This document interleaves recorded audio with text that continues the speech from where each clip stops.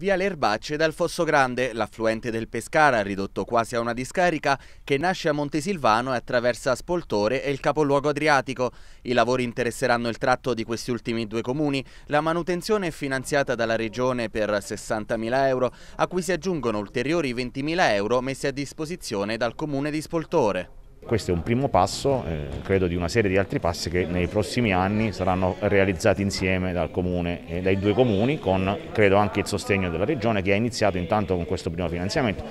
Io sono contento perché l'anno scorso diciamo, ho proposto io questa, questa quota di finanziamento, quindi sono felice che si inizino a fare dei lavori e che le amministrazioni possano lavorare insieme in sinergia per risolvere i problemi di Fosso Grande. A causa della pressione antropica e dell'urbanizzazione che si è imposta intorno al canale, il Fosso Grande rappresenta un pericolo durante le piogge più insistenti. Nel 2013 un'esondazione causò danni per oltre un milione di euro.